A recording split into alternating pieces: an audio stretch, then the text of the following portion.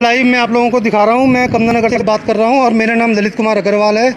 हम लोगों ने यहाँ पर अपने प्रयासों से कुछ ऑक्सीजन के सिलेंडर इकट्ठा किए थे और वो ऑक्सीजन के सिलेंडरों से हम लोग, जिन लोगों को ऑक्सीजन की ज़रूरत है, उनको ऑक्सीजन दे रहे थे फ्री ऑफ़ कॉस्ट बिना किसी पैसे के। लेकिन इस एरिए के एसडी साहब, राजीव रंजन जी ने आकर के हमारे ऑक्सीजन के पंद्रह सिलेंडरों को जब्त कर लिया है। ये लोग मानते हैं इस बात को कि आप लोग समाज की सेवा कर रहे हो।